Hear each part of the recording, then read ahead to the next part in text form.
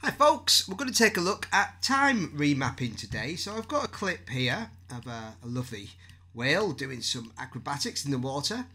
Okay, and I want to do a little bit of slow-mo and play about with the time. So, um, well, there's an easy way to do time, and that is of course to hit R or come over here for the rate stretch tool. So hit the R key, and we can simply speed up a clip by dragging it in or slow it down.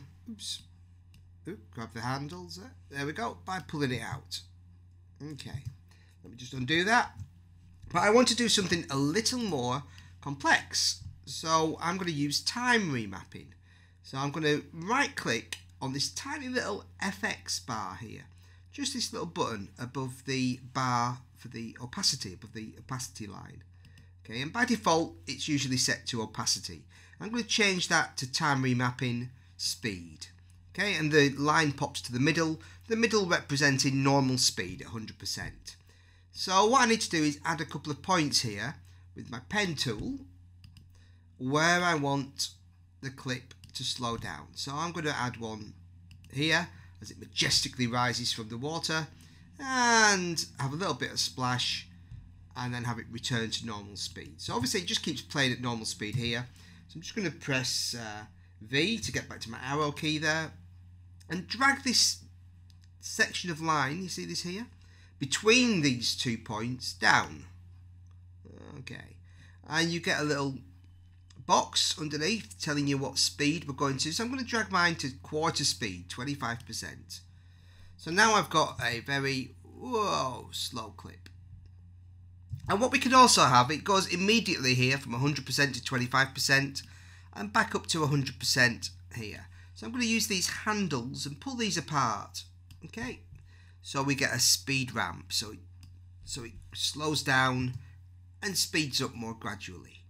Okay, now the problem is if I now just move forward one, two, okay, one, two, three, four, one, two, three, four. Okay, because I've slowed it down to 25%, we've got repeated frames. So when you play back the action, okay it has this jerky motion okay. So um, what we, can we do to fix that? Well Premiere now includes optical flow okay. So we go to time interpolation. We can choose optical flow. And that interpolates the frames that are repeated. So it creates in between frames okay. So now let me just render that and it'll take a moment to render and what it will do is it will analyze the shot it will create in between frames so that each frame is now individual and we'll get a smooth playback. And I've also used this to fix issues with um, when I have to say work with 29.97 frames per second video in a 25 frames per second clip. You know I can use that to sort of smooth out the motion and it does work. I've, I've used that method a few times as a quick and easy fix. So let's just let this render and while I'm doing that I'll just explain that there's a couple of other things we can do with time remapping such as pause and rewind. So let's let this do its thing and then I will come back to you. Okay, so now we're rendered.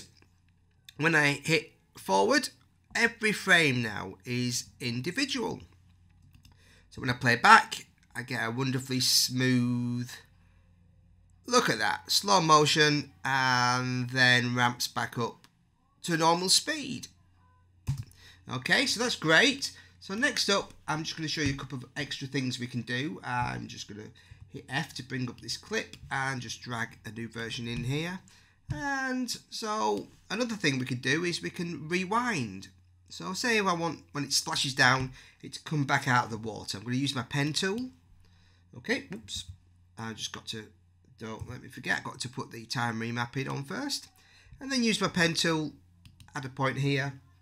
I'm going to simply hold down the command key and grab that point and drag backwards. And you can see you get this little rewind button there.